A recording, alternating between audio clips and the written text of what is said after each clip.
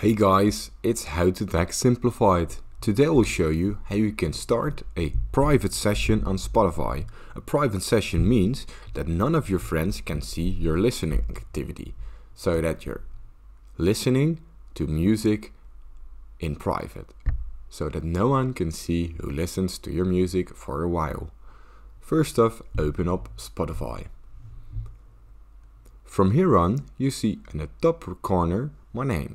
It's your profile. Click it and here the private session should appear.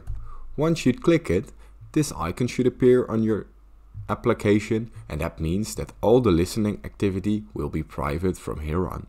If this icon doesn't appear, your listening activity isn't anonymously and there is no private session going on.